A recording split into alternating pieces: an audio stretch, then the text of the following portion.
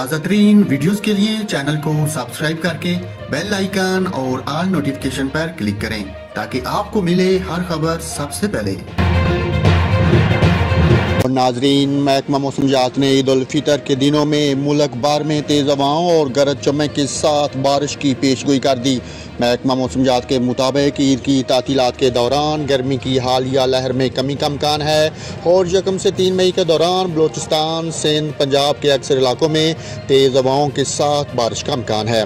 यकम से दो मई के दौरान कराची समेत सिंध के अक्सर इलाकों में गर्दलूद हवाएँ और आंधी चलने की भी तो है। दो से चार मई के दौरान इस्लामाबाद समेत पंजाब के कई इलाकों में गरदलूद हवाओं आंधी और गरज चमक के साथ हल्की बारिश का अम्कान है।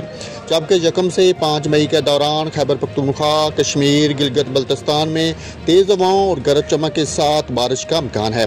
शहर कैद में यकम और दो मई को तेज़ गर्द आलूदा हवाएँ चलेंगी। कमज़ोर स्ट्रक्चर वाले इलाकों में नुकसान का खदशा है।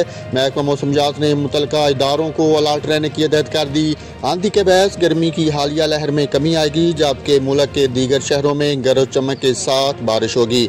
कमज़ोर स्ट्रक्चर वाले इलाकों में नुकसान का खदशा है। महकमा मौसम जात ने मुतल इदारों को अलर्ट रहने की हदायत कर दी।